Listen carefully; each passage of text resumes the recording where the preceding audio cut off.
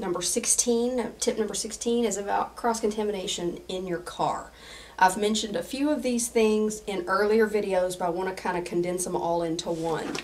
Now, before you've left the range, you've already washed your hands with cool water and D-lead soap if it's available. Regular soap is better than nothing. Once you've gotten to your car, I know before I figured all this stuff out, I used to just kind of throw all my range gear into the trunk, and I had a lot of it because I spent six, seven, eight hours at the range. So I had to have a roll of targets, I would have my range bag, I would have uh, just all the things that you normally take to the range. But this is a really great way to keep all that enclosed. If you just take yourself some type of a Rubbermaid container so that all that gear can just be placed right down into it and closed because it's really easy just to wipe down the exterior of this that you might have touched. Now the reason this is so important is because if you contaminate your trunk of your car, that's the place where you put your groceries.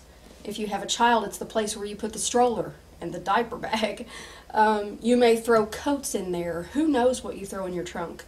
And once it's been contaminated, like mine, it's impossible for me to get all the lead out of there. I taught for three, four years. I'm not going nearly as much now because we've adopted a baby. But there's so much lead in the trunk of that car, and there's no way I can get rid of that. So I can't ever, until we buy a new car, I can't ever have a lead free trunk now because I was just throwing all that stuff in there every day for years. Um, now I can help be preventive, preventative now, but I can't go back and take care of that problem unless I pay some service, some huge amount of money, and I don't know what they would do. Recarpet the trunk, I don't know. But anyway, if you want to protect yourself and your family from cross-contamination in the trunk of your car, just use some type of plastic receptacle that you can put all of your range gear into, and it can easily be wiped down with the D-lead wipes on the exterior.